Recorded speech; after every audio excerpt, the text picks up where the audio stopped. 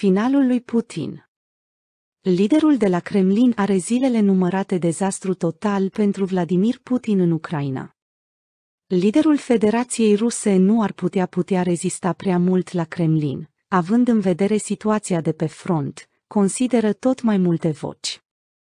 Potrivit șefului statului major al armatei britanice, Tony Radakin, armata rusă și-a pierdut aproape jumătate din capacitatea sa de luptă în contextul războiului din Ucraina.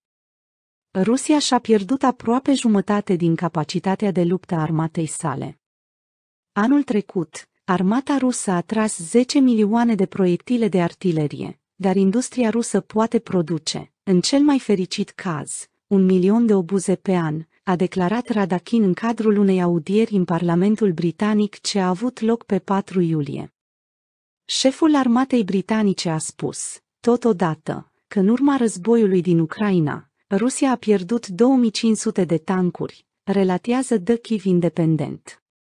În cel mai fericit caz, Rusia poate produce 200 de tancuri pe an, a adăugat acesta. Tony Radakin a mai afirmat despre invazia rusă în Ucraina că a fost eșec catastrofal pentru Rusia. De asemenea, a lăudat ultimele progrese făcute de trupele ucrainene în contextul contraofensivei Kievului. În ultimele săptămâni, Ucraina a câștigat mai mult teren decât a reușit Rusia în ultimul an, a spus el.